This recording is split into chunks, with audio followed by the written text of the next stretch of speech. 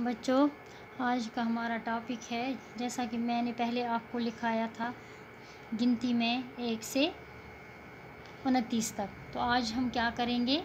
तीस से चालीस तक लिखेंगे, ठीक है बच्चों? तीस से चालीस तक लिखेंगे गिनती और सीखेंगे हम उर्दू में इसे कैसे लिखते हैं। जैसे कि मैंने यहाँ पे लिखा तीस तो ऐसे लिखना है आपने ते, ये, सीन, हो गया तेईस। इकतीस अलिफ की ये सीन, इकतीस। फिर बत्तीस ते ये सीन, बत्तीस। फिर तैंतीस, ते ते, नून, ते ते ते ये ते, नून, सीन। सॉरी बच्चों, इधर मिस्टेक हुई। ते, नून, ते, ये सीन हो गया। तैंतीस, फिर हो गया चौंतीस। ची, वा, नून, ते, ये सीन हो गया चौंतीस। पैंतीस, पे नून ते ये सीन हो गया। पैंतीस।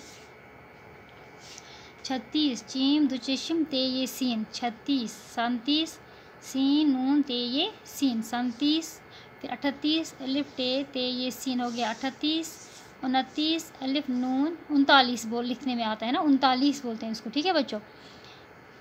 उनतालीस, अलिफ, नून ते अलिफ ता, लाम, ये सीन हो गया। उनतालीस, चालीस चिमलिफ चा, लाम, ये सीन हो गया। चालीस। तो बच्चों, ये था आज का तीस से चालीस तक। मैं एक बार फिर से रिपीट कराती हूँ। थोड़ा मिस्टेक हो गया इसको बीच में। तीस, ते ये सीन। तीस, तेईस बोलते हैं। ते ये सीन। इकतीस, अलिफ की ते ये सीन। इकतीस, बत्तीस। बे ये, ते ये सीन। बत्तीस, तैंतीस। ते नून, ते ये सीन। तैंतीस, चौंतीस। चीम वा नून, ते ये सीन। चौंतीस पैंतीस। पे, नून, ते, ये, सीन, हो गया पैंतीस। समझ आ गया बच्चों? छत्तीस। चीम, दुचेशम, ते, ये, सीन, हो गया छत्तीस। सैंतीस। सीन, नून, ते, ये, सीन, सैंतीस। अठतीस अलिफ, टे, ते, ये, सीन अठतीस फिर उनतालीस। अलिफ, नून, ते लिफ ता लाम, ये, सीन, हो गया उनतालीस। चालीस चिमलिक चा लाम, ये सीन हो गया चालीस।